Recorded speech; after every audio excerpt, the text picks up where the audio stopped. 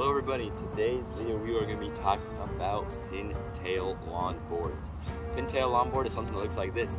Pintail longboards are great for beginners, great for just cruising around. They are just the basic skills that anyone needs, like most longboarders, just ride around just from A to B. Not a lot of things needed, and it's pretty simple to ride.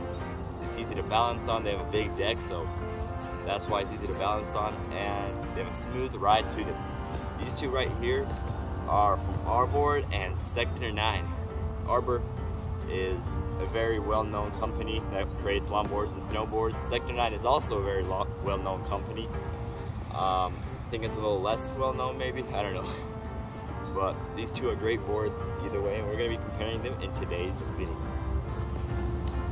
Starting off with the Arbor, this is a this board's pretty well used, so you can see they're not brand new. They're both pretty well used, so it makes it fair. We got a nice bamboo deck that comes with it. It's pretty long. They're both 46 inch, I believe. We got the nice Arbor wheels that come with it, and I think these should be um, the company Paris trucks. That's the one that Arbor usually uses. And we have this nice overall build. The grip tape's kind of weak, compared to the Sector 9. We're to talk about it later. The Sector 9 board has a nice bamboo deck, got smaller wheels, and gull-wing trucks, which are the Sector 9 trucks that are used. These are both boards are, as a car person would say, stock.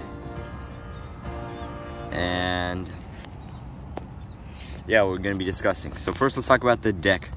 The Sector 9 board and the arbor board have roughly about the same kind of deck. The arbor board is the bamboo is a little bit more stiff than this one. I like this bamboo more than that one and I like the grip tape on this. This grip tape has a lot more grip to it than that one. This one like actually grippy. They both have clear grip tape so you can see the nice wooden texture under it.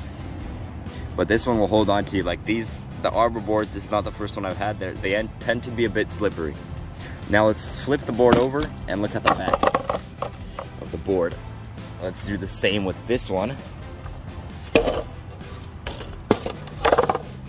Oh, these are not Paris trucks actually. I'm not sure what they are. Oh, they're calibers. Uh, usually they come with Paris. Maybe someone changed them because I bought this used. Um, the Gull-Wing trucks are I honestly lean towards Paris more than Gull-Wing. I like Paris trucks more.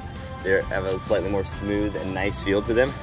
But this one has caliber trucks. I think the stock one comes with Paris, so I'm gonna talk about Paris. But caliber trucks are not my favorite. They're also good trucks, but not as good as Gull-Wing or Sec or Paris.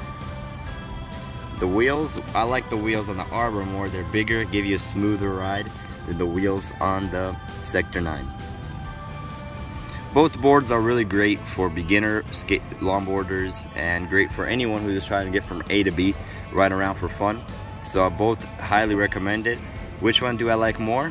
I think it's a tie because both of them have their pros and cons. I honestly like the deck goes to Sector 9, trucks and wheels go to Arbor. That's it folks for today's video. Hope you all enjoy it. See y'all in the next one. Until then, goodbye.